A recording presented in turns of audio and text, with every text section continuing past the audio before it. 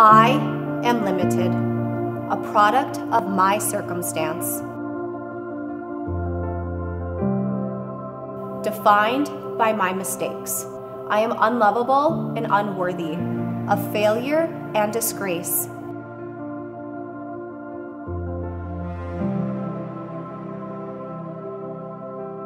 I am constantly reminded of my flaws and of my sins. Completely forgetting the one who lives within.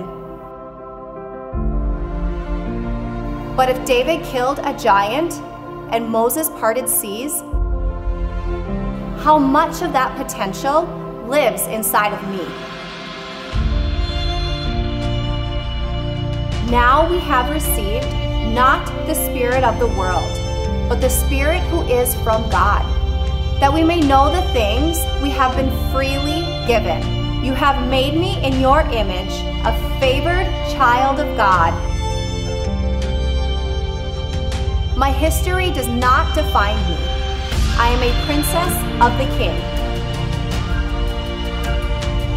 I have unique gifts and talents, full of mercy and of grace.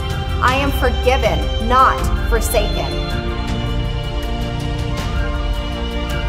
Your spirit lives in me.